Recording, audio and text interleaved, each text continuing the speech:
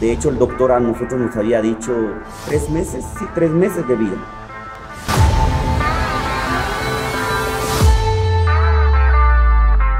Amén. Eh, gracias, Mireili. Pues sí, eh, como tú lo dices, eh, tocando un poco el tema, la manera en que despidieron a mi papá, los medios, la gente, el cuerpo de Cristo, fue una, algo tan extraordinario, ¿verdad? Aunque te confieso algo, como familia en ese rato estábamos en shock. Sí, y era como no estar pendiente de las primeras planas de, prensa libre, era como estar enfocados en lo que estaba pasando, ¿verdad? Literalmente obviar todo lo que las personas, los hermanos estaban haciendo y también los medios de comunicación. Exacto, exacto. Entonces sí, eh, te digo que, quedamos en shock y te confieso, eh, abro mi corazón y con todo el corazón te confieso que yo tuve el valor... Eh, ¿cómo pudiera llamarlo? Emocional, de poder ver todas las notas, ver videos, ver todo eso, hasta el, en la pandemia del 2020. ¿En serio? Hasta en el 2020 fue que empecemos a revisar todas esas notas, videos, fotografías. ¡Wow! ¿En serio? Hasta el 2020. Ajá, sí, Dios sabe. Eh, no, no, no estoy echando cuento como diríamos en Guate, no estoy echando casacas. no es casaca, esta no es casaca, ¿verdad? Eh, eh, sí, eh, creo que por el tiempo de estar encerrado y, ya estábamos más relajados, las noches de, insomnio. Entonces ya ahí yo tuve el valor de comenzar a, buscar, a, poner, ya, ya mero hacía lo que hace mi hermanito pequeño de 10 años. Él entra a YouTube y dice música de mi papá. Música de mi papá. interesante. pero entonces yo, yo tuve el, valor emocional de poder entrar a, revisar y sí me doy cuenta de, toda la gente que, marcó la vida el ministerio de mi papá.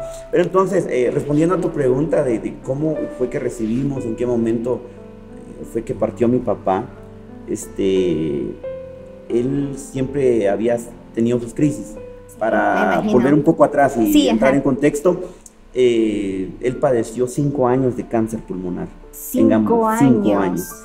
De hecho, el doctor a nosotros nos había dicho tres meses, sí, tres meses de vida, porque nos dice que el cáncer había avanzado y que ya no había más que hacer, pero eh, que si podíamos eh, intentar con algunos ciclos de quimioterapia y ok. la sorpresa fue que respondió bien, el Señor nos regaló cinco años más y ya como que entrando un poco al tema, esos cinco años sirvió como para prepararnos emocionalmente, espiritualmente. O sea que ustedes ya tenían como esa idea y esa noción de que él algún día iba... Exacto. Siendo honesto, sí.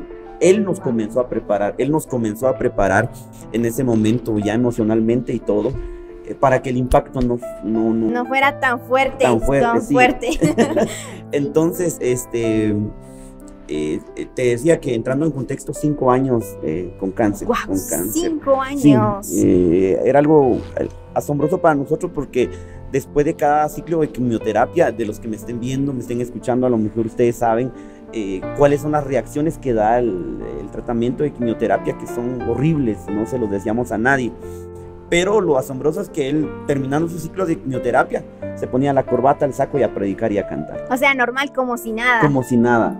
El doctor que lo atendía, doctor Julio Ramírez, si, si, nos está viendo, él sabe, un saludo, él sabe de lo que estoy hablando, que hasta lo regañaba y le decía, pero si mis pacientes acá normalmente salen en silla de ruedas o en camillas, porque, o sea, es tan fuerte el impacto que, provocaba eh, la quimioterapia, pero mi papá salía normal, tranquilo.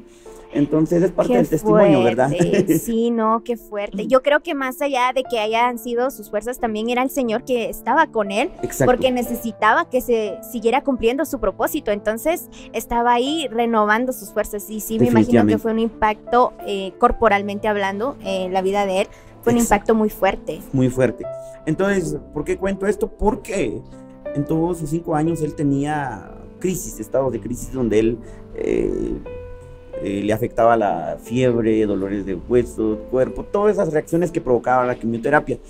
Entonces nosotros ya estábamos acostumbrados que él entraba en una crisis y pues, la medicina que se le recetaba, eh, todo lo que había que hacer con él, y él reaccionaba, él regresaba en sí.